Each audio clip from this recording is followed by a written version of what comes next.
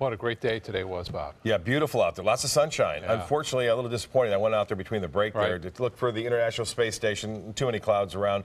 And those clouds kind of came up from the southeast around an area of high pressure. No rain associated with it, but uh, did bring a little uh, obscured skies. So we'll, we'll get another chance. Yeah, we'll get a chance to see it again sometime in the future. Well, uh, Fred Seeger getting a shot of this. Get a look at this beautiful shot of the sun setting on Siesta Key with a sailboat there. This is like it was framed, isn't it? I mean, a nice Christmas tree at the end of the north end of Siesta Key, right there on Beach Road, and uh, which I had the pleasure of living for like 10 years, right there on the beach.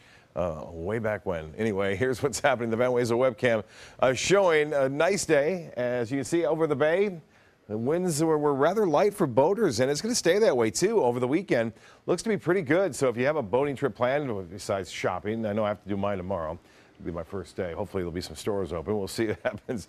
Uh, Red Tide Report, December 23rd. This is uh, what's happening. The, some news on this is that uh, there's still moderate to high concentrations being felt across portions of the Suncoast from the north end of Siesta all the way through uh, Big Pass and then New Pass. Uh, getting some reports there as well. Uh, but the number of them are coming down. On top of that, in Manatee County, not as many. Uh, it's spotty at best. There are some high concentrations, though, still being reported. A couple uh, near Anna Maria Island and also near Longboat Pass. A high concentrations meaning greater than a million cells per liter.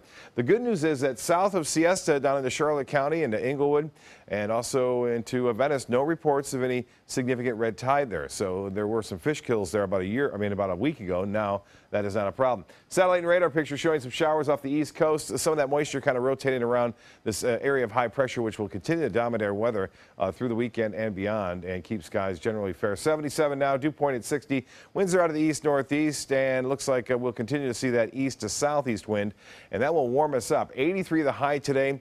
We could see highs 84, 85 degrees on both Saturday and Sunday, which will approach record highs 86 the record back in 1948, so we were three degrees shy of the record today. And our overnight lows will be warm too, into the low to mid 60s for the most part. No rainfall to report, and uh, no snow on the horizon either. And as far as the temperatures go, uh, 67 degrees in Tallahassee, 10 degrees warmer in Sarasota and Key West. 76 in Miami now, 73 in Orlando. It's nice all over the place. A low 70s in Sebring and Lake Placid and Avon Park, 78 degrees Myakka City. Englewood, you're at 78. Northport, one degree cooler. Same in Bradenton and Cortez at 76 degrees. The forecast for tomorrow looks delightful. Another nice day, maybe a little bit of patchy fog to start the day off, but that fog should burn off and we'll look for partly cloudy skies with high temperatures well above average in the low 80s for the most part.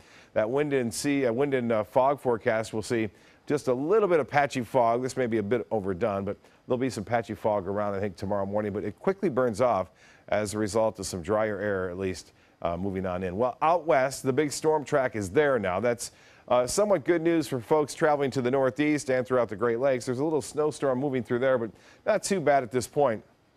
All the watches and warnings are out west. Snowfall forecast, though, quite a bit of snow falling for skiers into Idaho, Utah, as well as Colorado. A little dusting of snow over the northeast. And a white Christmas, yes, it will be felt across much of the nation uh, this weekend. And there's uh, quite a bit of snow on the ground. Well, the forecast for boaters and uh, for boaters looks like northeast winds at 10 knots, seas right around two feet or less. It'll be five knots in the afternoon. Water temperature at 70 degrees. Tides upcoming, high tide at 8.